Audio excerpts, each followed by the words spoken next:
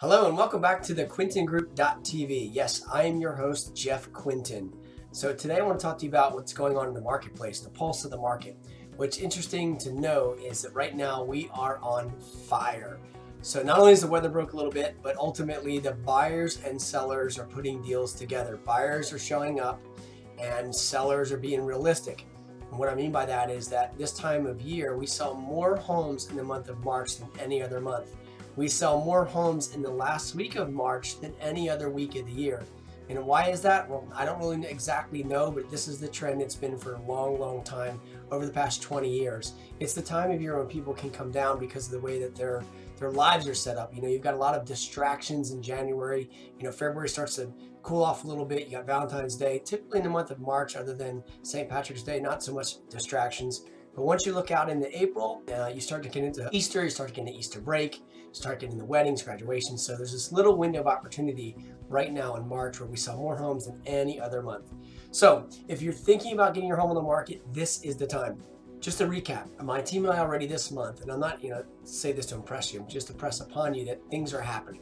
We've sold over 20 homes already this month so far, and uh, Basically, as of yesterday, we had 13 of our listings actually under contract.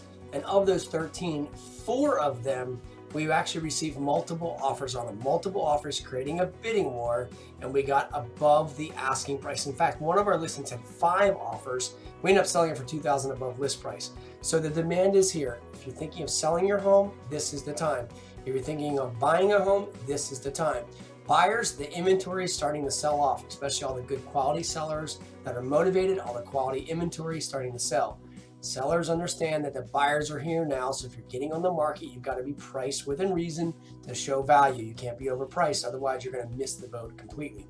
So, if you're thinking about getting down to the shore, want to get together me or my team to take a look at properties, if you're thinking about uh, wanting to get your home on the market, we'd love to offer you a free market evaluation, show you exactly what's going on, how much you can get, how to position your home in the market to get multiple offers.